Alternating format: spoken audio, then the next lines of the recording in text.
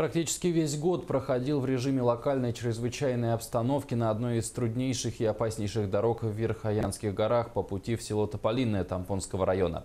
С наступлением холодов обстановка на этой трассе нормализовалась. Тему продолжит Нина Ханарова.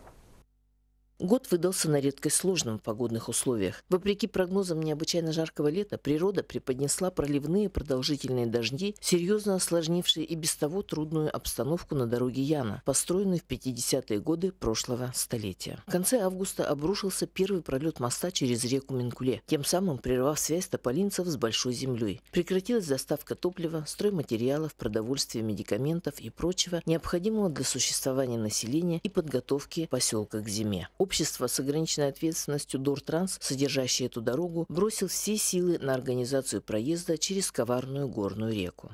Мост рухнул под эскаватором у нас. Там подгнила береговая опора. Ну и мост, в общем, был рассчитан на меньше нагрузки. В связи с этим после было принято решение, чтобы через речку Минкулу устроить э, временную переправу. Из вложено 16 труб, она устроена сейчас. В настоящее время мостовиками проведены работы по разбору завалов и подготовке к монтажу доставленного из Новосибирска сарма. Сарм привезли с, с Новосибирска. Угу. Уже, ну, собираем, кран ждем. Угу. Когда приедет, уже поставим.